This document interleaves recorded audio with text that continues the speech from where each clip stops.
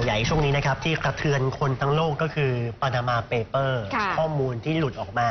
ในรอบนี้มีผู้หลักผู้ใหญ่ของบ้านเมือง ทั้งคนไทยทั้งชาวต่างชาติ เข้าไปเกี่ยวข้องหลายคน แล้วก็มีผู้นำของประเทศหลายประเทศเข้ามาเกี่ยวข้องด้วย ค่ะ ก็เกิดความกังวลว่าจะไปครับเกี่ยวข้องกับการเลี่ยงภาษีไหมอืม ไปเกี่ยวข้องกับการฟอกเงินด้วยหรือเปล่า เพราะว่าบริษัทนี้เขาเป็นบริษัทที่รับ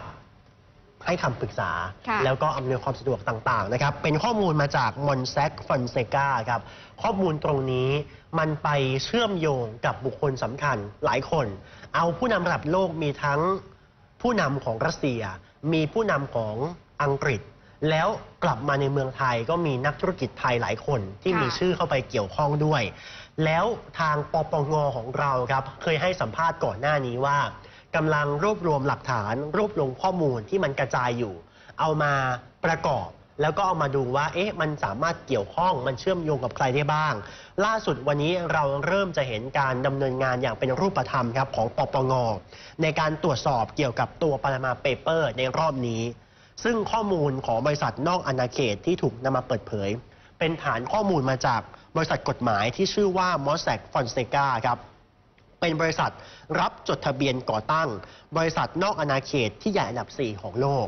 มีสำนักงานใหญ่อยู่ที่ปานามา แล้วก็มีสาขาทั่วโลกประมาณ 42 ประเทศ รวมทั้งในไทยก็มีสาขาอยู่ด้วย เบื้องต้นครับระบุว่า ข้อมูลทั้งหมดมีประมาณ 11 ล้านกว่าชิ้น ไปเชื่อมโยงกับผู้นำระดับประเทศ นักธุรกิจและคนต่างๆ ที่อยู่ในแวดวงการเมืองแวดวงการเงิน ค่ะ คือก่อนหน้านี้มันจะมีวิกิลีกนะคะ ที่เขาครับออกมาแฉก็จะมีเอกสารแปลกๆแบบนี้เนี่ยแหละค่ะคุณผู้ชมส่วน ข้อมูลล่าสุดที่ออกมานี้ทางปปงบอกนะคะว่าวันนี้ปปงก็กำลังจะประสานไปที่แหล่งที่มาของข้อมูลค่ะ ซึ่งพันตำรวจเอกศรีหนาถประยุนรัฐ ที่ปรึกษาประจำสำนักงานป้องกันและปราบปรามการฟอกเงิน และอดีตเลขาธิการปปงนะคะบอกว่าที่จะประสานไปเนี่ยก็จะไปดูแหล่งข้อมูลทั้งจากสำนักงานใหญ่ IC IJ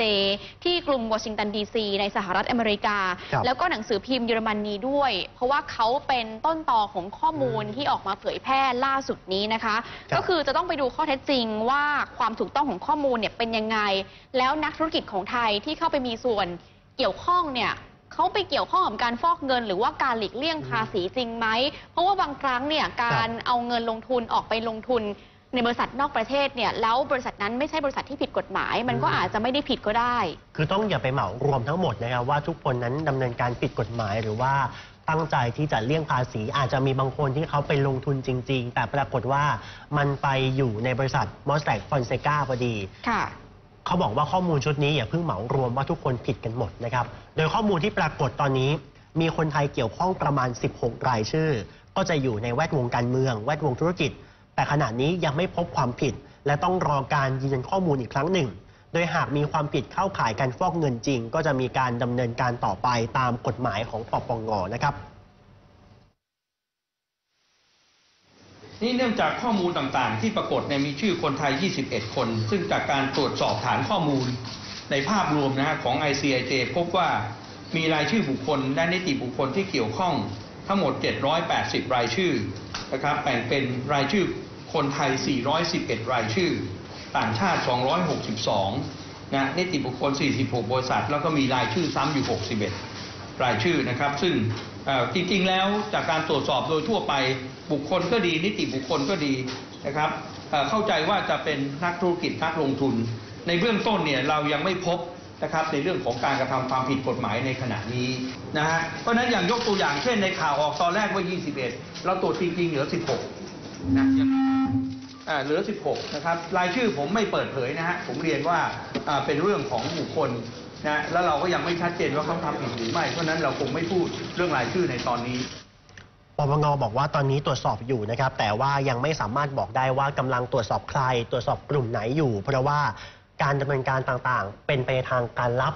ซึ่งค่ะไม่สามารถเปิดเผยข้อมูลได้ แต่ว่าเบื้องต้นครับการจดทะเบียนทั้งหมดของ 16 รายชื่อที่ปรากฏนั้น เป็นการจดทะเบียนตั้งบริษัทนอกประเทศไทย ซึ่งคนที่ไปเชื่อมโยงเขาก็พบนะฮะว่าจริง ๆ นอกจาก Mossack Fonseca แล้วมันก็ไปเชื่อมโยงการตั้งบริษัทที่ Cayman Island ด้วยอืมก็รู้กันดีว่าเกาะเคแมนนั้นคือ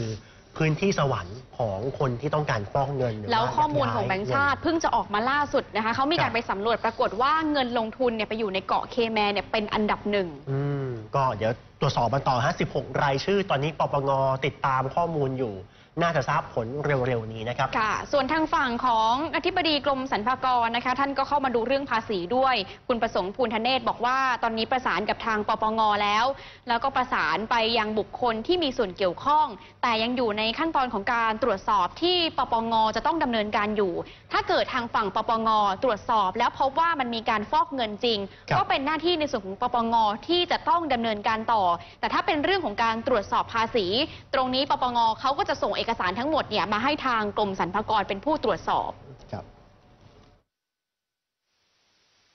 เอ่อมันมันยังตอบไม่ได้นะครับ เพราะว่าเอ่อที่ได้มามันมีทั้งชื่อหนึ่งมีทั้ง